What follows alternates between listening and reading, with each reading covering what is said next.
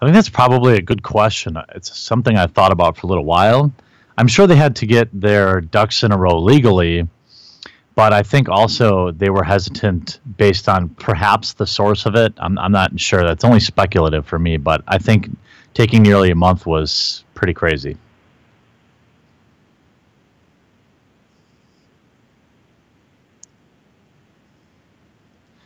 Well, based on the small pool uh, that I could find, whether it was, I, I, ended up with about a dozen between judges and Magic the Gathering store owners. So about half of them were judges.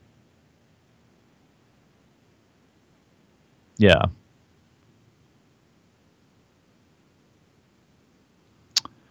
Well, once the ball started rolling, uh, maybe a week uh, to really to get a kind of the 80% of it, the to, to form the trends.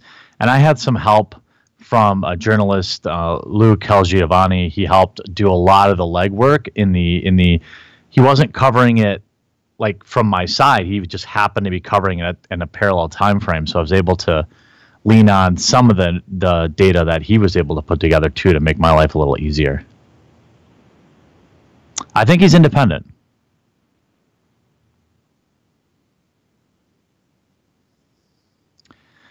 They have acknowledged that there's been some mistakes made, but no, they have not acknowledged any any me in any way at all, uh, directly or indirectly.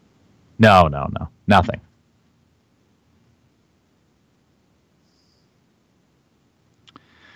I think the game itself is really good at community building, and and when you're young, I think it teaches you to think strategically and there are a lot of elements to the game that helps help bring people together. And that, that's what magic the gathering is compared to a lot of these you know online games. Magic really gets people out of, out of their homes and in, into the game stores and and builds communities. So that that's what i think the strongest value is.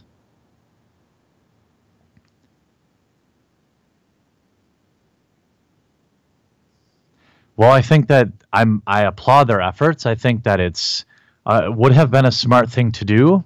Uh, I don't want to diminish it because clearly so many weren't. I, am happy that they were doing it um, as just a, a general type of employment scan. I think is just really smart.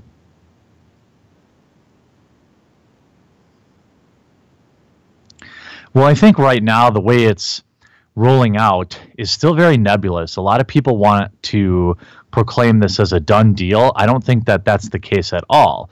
Wizards of the Coast put out a very vague statement and pushed all of the pressure back onto the local game stores to basically cover themselves only. All so they said local game stores are required to run these checks, but essentially that they're not going to check up on them.